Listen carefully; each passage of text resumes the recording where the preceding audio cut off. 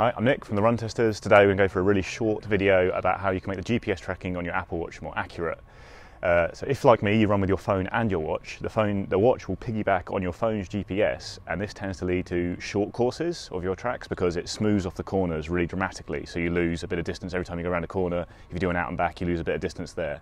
So the simplest way to, to solve this is just leave your phone at home and just use the watch's audio. But if you want to have your phone with you, then what you need to do is basically turn the Bluetooth off on your watch. So simplest thing to do is go to your settings, to Bluetooth, and turn off Bluetooth.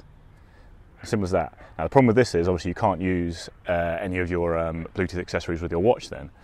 So the other thing you can do is leave your Bluetooth on, but don't use Apple's native workouts app. If you use an app like Runkeeper or iSmoothRun, you can set it to only record via your watch's GPS, which means you can still use headphones, but you're not using your phone's GPS, so you'll get more accurate distance tracks on your runs.